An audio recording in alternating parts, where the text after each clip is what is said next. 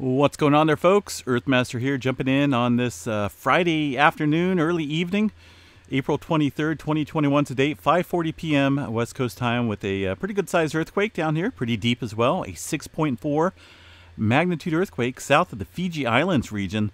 Uh, pretty some significant movement there, about the largest we've seen in a little while.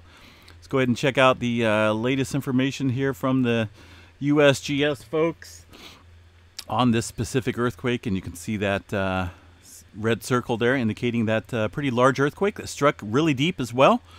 This is in an area where we've seen that significant deep movement uh, yesterday, the 4 and 5 magnitude range, very deep. Uh, talking about 550, 560 kilometers below surface uh, for some of that deeper movement we've seen uh, last night.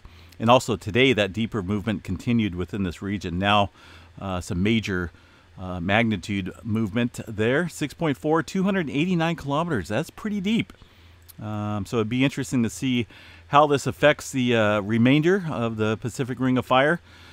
We'll cover a little bit more later on this evening folks with the full update video talk about the activity going on down south near the antarctic. Uh, but for now 6.4 striking just south of fiji islands with some uh, significant deep movement there 289 kilometers. We'll chat you guys a little bit later on tonight. Stay safe